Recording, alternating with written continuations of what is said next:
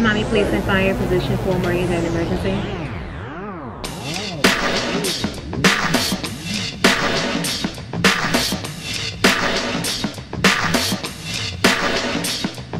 What's going on guys? You ever wonder what happens when you dial 911? Well today you're gonna find out. So that's where we're going today, the communication section. Let's go.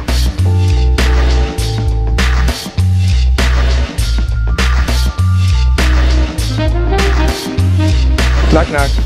Hey, how you doing? Good, you. All right. This is Luz, everybody. Say hi. hi. All right. I know you've been working here a while.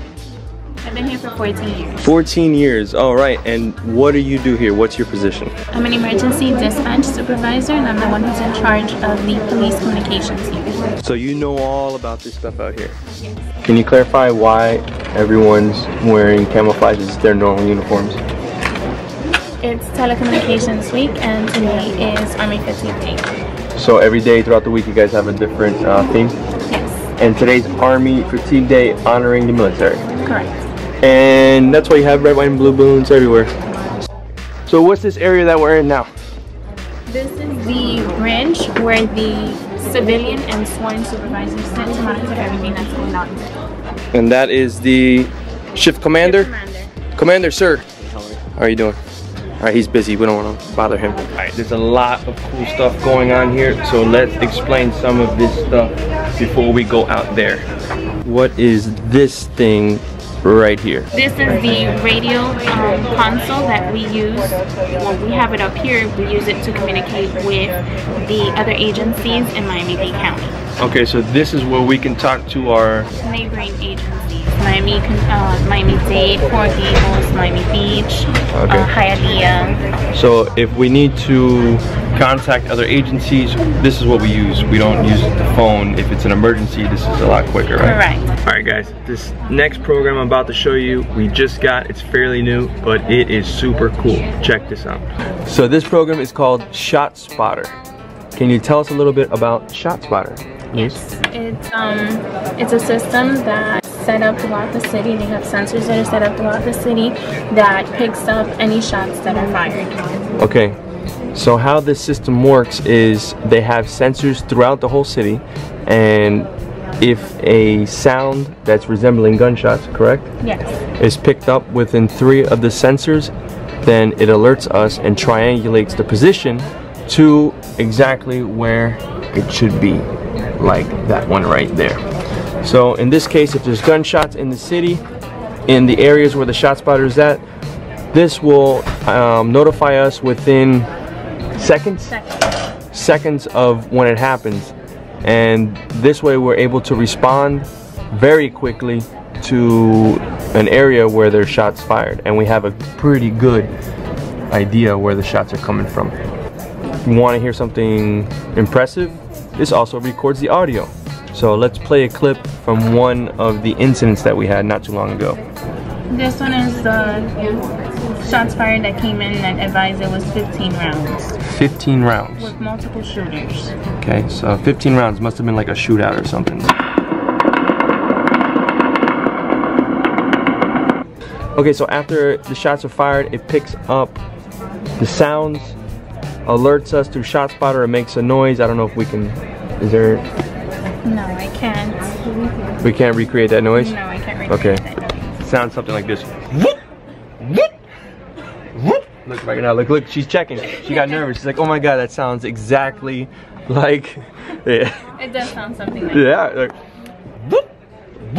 right? Yes. It does. Luz question. Can you track where we're calling from. If we call 911 and we cannot communicate for whatever reason, can you track us? Track it, yes, to a certain extent. When you call from a landline phone, we're able to get an exact address of where it is that you're calling from. So a landline phone is like the phones that are in the house or um, pay phones. Correct. It's anything with a cord. And then when you call from a cell phone, it it's not really giving us an exact address. It gives us an area where you're located. Um, And with that information, we're able to obtain a lat and long, and we're able to put it into the mapping system to obtain approximate avenue and street of where it is that you're located. So it's kind of like the Find My iPhone app, is what you're saying. Yes. Okay, so it's kind of like the same thing. It uses the phone's GPS system to ping, I guess? Yes. Commander, do you mind if I call you? Because we're on the bridge, it's only right. Do you mind if I call you um, Commander Kirk? No, that's fine. Alright.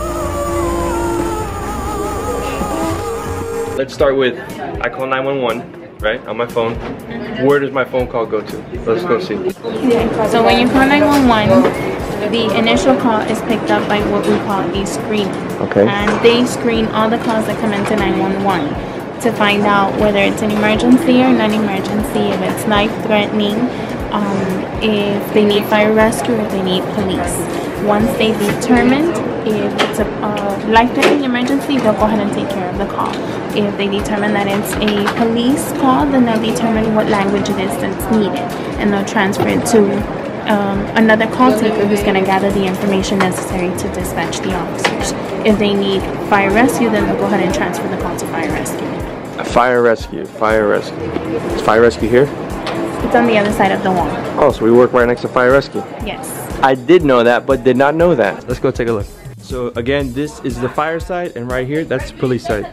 We're side by side, we're neighbors. All right, I'm here with Emergency Supervisor Dispatcher Gomez. Sir, how you doing? How's everything? Okay, explain to us what you guys do on this side.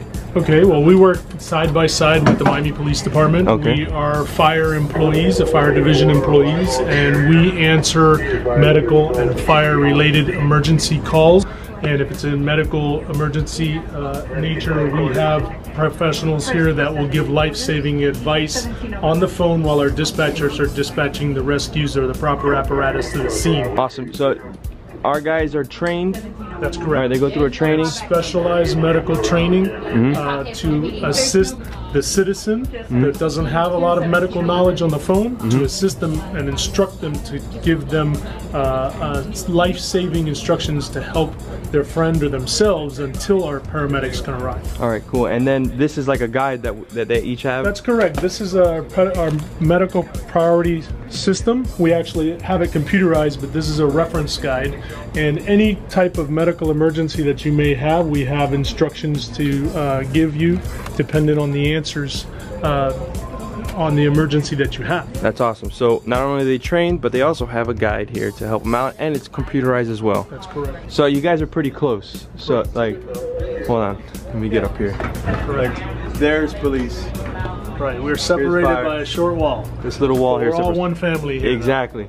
So is there any time where you guys just go, hey, we got fire over here by the tree? No, we always communicate electronically because everything needs to be on a recorded line. The, everything is public record, so anything that is said amongst each other has to be done via electronic communication.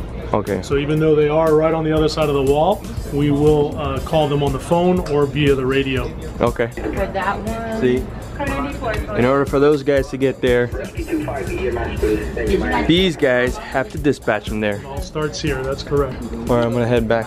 Right, awesome. So, Luz. So we get the call, we screen the call, we decide it's a 911 police emergency. So what do we do from there? The call taker enters the call into the system and it goes over to the dispatchers. They enter the call based on the type of crime or incident that's occurring and based on priority. We have priority threes, which are the life-threatening priorities, and then we go as low as priority fives, which is non-confrontational or non-violent um, requests for police where maybe just a report is needed. Okay, so behind us are the dispatchers, correct? Correct. What are their roles? Well, the call takers enter the calls and the dispatchers will go ahead and dispatch the officers to the calls. The city of Miami is a big area, so we have a total of Four channels. four channels, but I see five stations. So what's up? That's correct. Have five stations. We have four channels that are manned by operators and the fifth one is the relief operator which gives the brakes to all the other four channels because they can't leave the channels unmanned. Okay, so who's relief? Right here. All right. So who relieves the relief? The relief brings the relief relieves the relief. Tried to get her in a tongue twister. Okay. So there is times where we have to go and everyone is uh, one channel covers all four channels, correct? So Correct. if we have a, an important message to give out to an Yes, officer. it can be a message, it can be an emergency situation, something like an officer down. Depending on where it is, it's going to require additional resources. So they would have to take multiple channels at one time to be able to send those additional resources. So I can only imagine how stressful it can be. And I made a comment that at the end of your shift, you must be exhausted. And Luz corrected me. And what did you say? Not at the end of the shift. Sometimes immediately after working an emergency situation, there are times where you have to get up and you have to go walk or take some fresh air or even go into a room that they've dedicated where you can just relax, um, a zen. It's pretty stressful at times, but they're professionals. They can handle multitasking. How many screens? One, two, three, four screens. So typing, talking, directing. to dispatch. Uh, you said your fingers hurt. Why? Like I'm typing everything I have to type. You have to type and talk at the same time. Yeah. Type and talk, answer the phone. My fingers have been going all morning, all day. Inner city. Answer inner city. We got inner city. Michael Trouble and QSK. So now he's talking to another agency. Your Western unit, so this is your reference documents at 21 Northwest 46th Street. Can you advise me where your unit is? That's mine. Take it. Okay. Send me one picture. JP, I'm being nosy. What what did they want? And who who were they? because uh, Unit 686 wanted a routine 15 to make contact with the 17 CBI party over there in the county. What he just said was a unit needed assistance. It was a car accident. A unit needed assistance with a 686. with 686, which was an off-duty number. You can record that back and try to figure that out again. You're never gonna get it. Every officer has a unit number, and that's how the dispatch identifies them and assigns them to calls. So, is there any way if the officer, for some reason, cannot give his unit number or her unit number, um, is there any way of identifying them? Yes, through the radio number. When they transmit, every time that they transmit, their radio number is displayed. So if an officer is not able to come on the air and identify themselves, we're able to, through the radio number, identify who they are. Our radios are equipped with a little orange button here at the top. All we have to do is pound that orange button and the dispatchers automatically know that it's our radio that has the emergency. And then like she said before, through our radio number, she can identify who we are and where we're at according to what call we are on. All right, I'm gonna show you what happens when we hit the little orange button. This is a test. This is only a test. Okay, anyways, let's do this.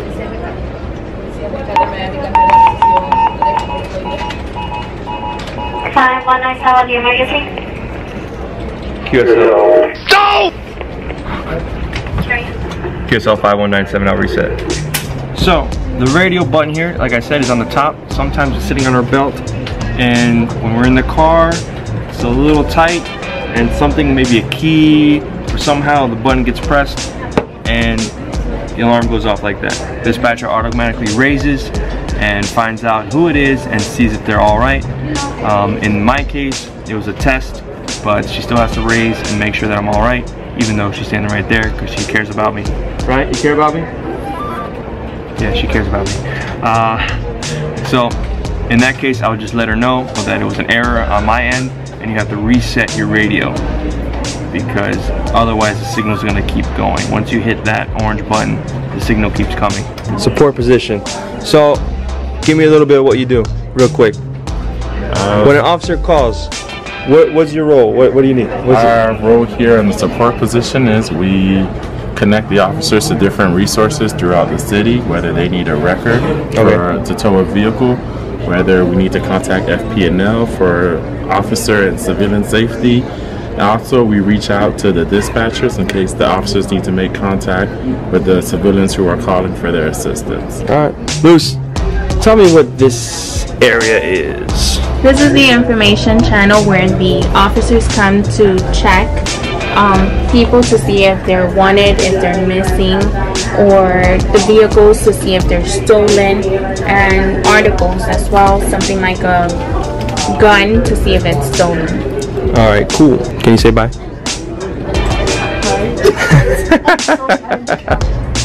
let me let me show you guys how we do it here at the Miami PD dispatch. Show them how it's done. Go!